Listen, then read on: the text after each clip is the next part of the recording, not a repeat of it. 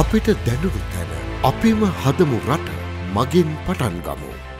මහනුවර ප්‍රදේශයේ ප්‍රධාන පාසලක රග පුහුණුකරුවෙකු ලෙස සිටිය අයෙකු මත්පෙති සමඟ අත්තරංගුවට ගෙන තිබෙනවා. එලෙස මත්පෙති හාර දහස් එකසියක් සමඟ මහනුවර අඹතැන්න ප්‍රදේශයේදී අලවතුගොඩ පොලිස්ථානය මගින් අත්තරංගුවට ගත් බවයි නෙත් නිියස් වාර්තාකරු සඳහන් කළේ. සැකකරගුරුවරයා අඹතැන්න ප්‍රදේශයේ පදිංචිකරුවෙක් වන අත්තර මීට මාස හයකට පමණ පෙර මෙම පාසලට බාහිර පුහුණුකරුවෙකු ලෙස එක්වී ඇති බවත් වාර්තා වනවා. මොහු යුද හමුදා සේවා බලකායට අනුයුක්තව පනාගොඩ කඳවුරේ සේවය කර මේ වන විට යුද හමුදා සේවයෙන් පලා අයෙකු බවයි වැඩිදුර විමර්ශනවලදී අනාවරණ වී ඇත්තේ.